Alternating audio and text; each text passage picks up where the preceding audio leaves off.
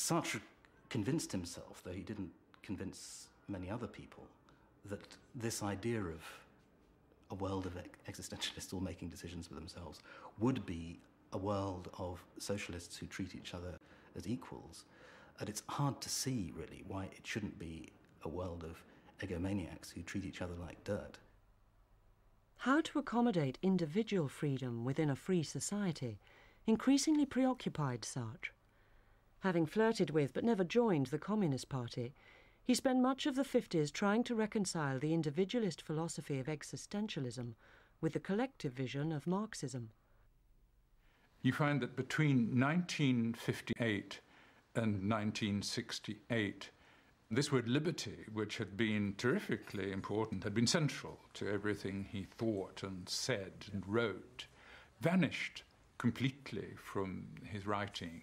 The reason it vanished is that he had become much less interested in the individual person, in me, in uh, the self, in one person's fight.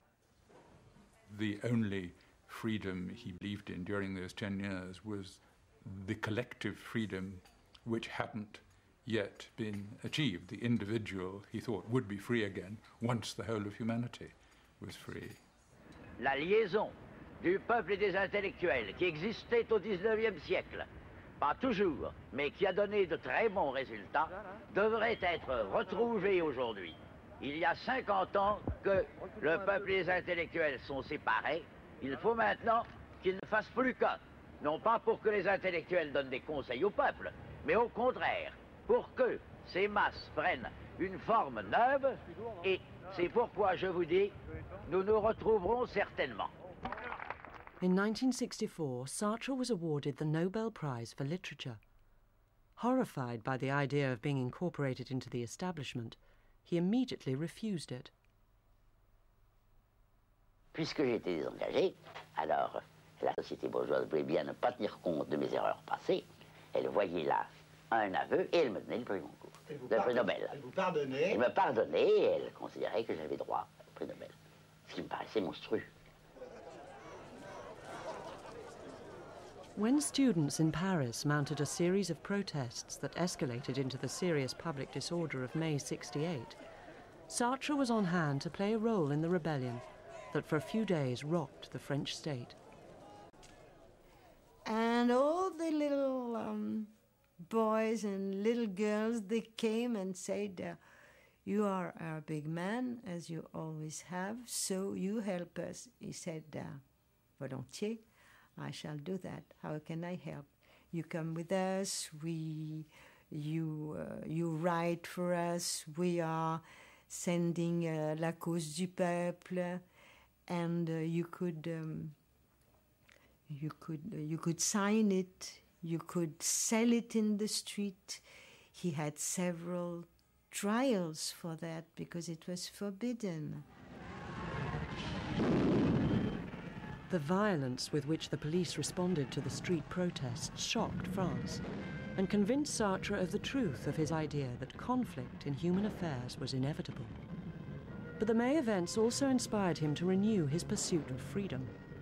He was now more convinced than ever that the main threat to individual freedom came from the state, and he joined those calling for its overthrow he was always very revolutionary, ahead of all the revolutionaries. You got to read it's, uh, it's total liberty, it's total revolution all the time, revolution for, for everything. Et à partir de 68, lorsqu'il découvre, euh, lorsqu'il proclame que le Parti communiste français est un grand parti conservateur, euh, euh, c'est une espèce de libération par rapport à cette espèce de terrorisme marxiste qui pesait sur lui et dont au fond il n'avait rien à foutre. Donc il évacue le marxisme euh, en 68 et il rejoint sa vérité qui est celle d'une sorte de d'une sorte d'anarchisme, je dirais. Sartre, the man who had felt free in a German prisoner of war camp, now felt profoundly unfree in Charles de Gaulle's France of the 1960s. He started to lend his name to various militant far left causes, and even became the editor of the extremist newspaper La Cause du Peuple. He was arrested on several occasions, but always released without charge. As de Gaulle himself put it, one does not imprison Voltaire.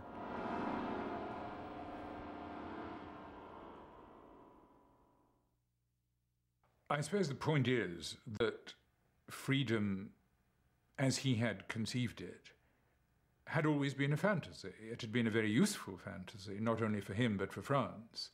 Um, the public reaction to his ideas um, was an immediate demonstration that the individual idea could ignite a fervour and a useful fervour in a mass of people.